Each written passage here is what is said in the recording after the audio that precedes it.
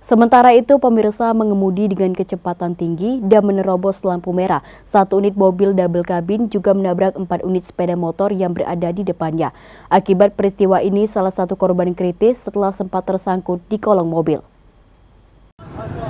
Lapor komandan telah terjadi kecelakaan mobil sama kereta. Korbannya sudah dibawa. Video amatir merekam pasca terjadinya laka lantas antara mobil double kabin berwarna abu-abu dengan empat unit sepeda motor di Jalan Jamin Ginting Medan.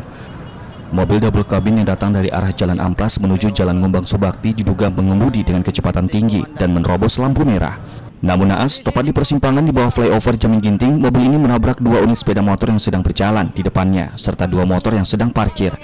Tingginya kecepatan mobil dan kerasnya hantaman membuat salah satu korban pemotor berada di bawah kolong mobil dengan kondisi kritis, sementara korban lainnya mengalami luka ringan. Samsul Bahri, salah seorang korban mengaku saat kejadian dirinya tengah parkir di bawah flyover. Korban terkejut tiba-tiba ada mobil yang melaju kencang ke arahnya dan sudah menabrak motor di depannya. Nah, saya waktu itu duduk di depan seberang, dari seberang sana diterobos lampu merah. Mobil, mobil. Mobil, mobil Lagi parkir saya, saya lagi parkir.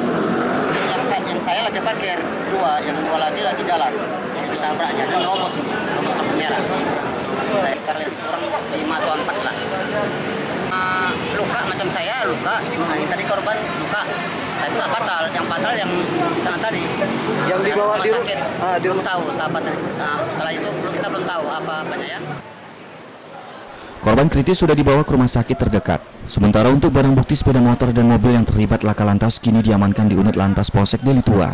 Dari Medan, Ahmad Ridwan Nasution, iNews melaporkan.